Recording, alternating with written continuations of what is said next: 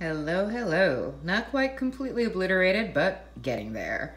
So we have the ultimate awesomest dessert ever. Now you can kind of see the inside a little bit better.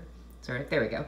Ah, uh, yes. These are the peanut butter bars, aka Bessy bars, aka awesomeness, delicious decadence. Look at that creamy blend. So the topping is basically, um, so after you take the cookie bar it's essentially it's an oatmeal cookie that's got peanut butter inside. And after you take that out of the oven, uh, you bake it for, you know, 20 minutes, 350 degrees.